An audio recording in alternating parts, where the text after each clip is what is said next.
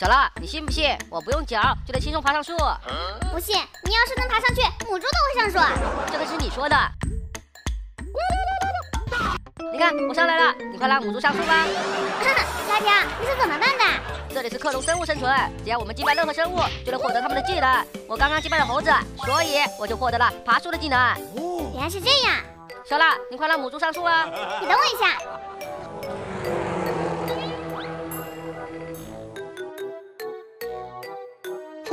这不就上来啦？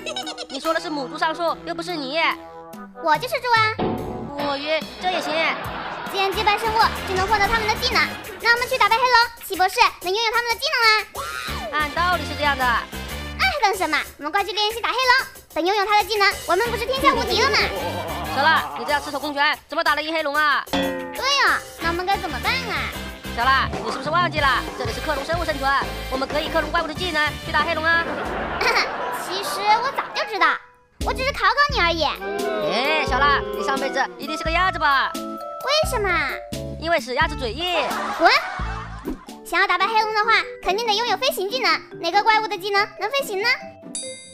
有了，小鸡不是可以飞吗？试试看。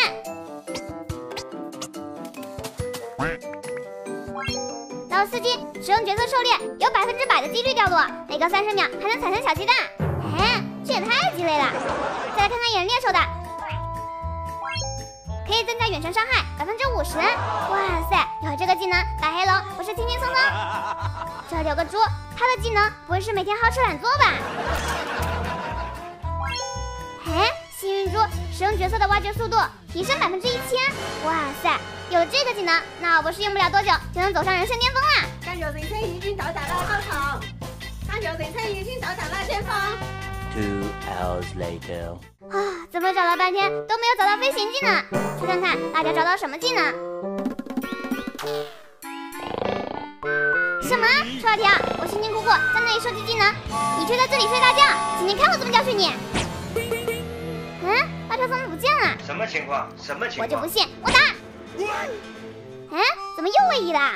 嘿嘿，小拉打不到我了吧？臭辣条，你怎么会位移？因为我克隆了地心人的技能啊，他的技能就是瞬移。原来是这样，可是没有飞行技能，我们根本打不过黑龙啊！谁说的？虽然黑龙会飞，但是我们可以用远程攻击加上野人猎手的 buff，这样我们不就可以不用飞也能轻松打到黑龙吗？什么？臭辣条，你怎么不早说？害得我白白浪费时间去收集技能。收集更多的技能只有好处没有坏处啊！我们还是赶紧去练心打黑龙吧。好。等等，辣条，我们虽然到了练心。可是我们要怎么去找黑龙啊？坐小飞鼠滑行过去啊！哦，我没有小飞鼠啊！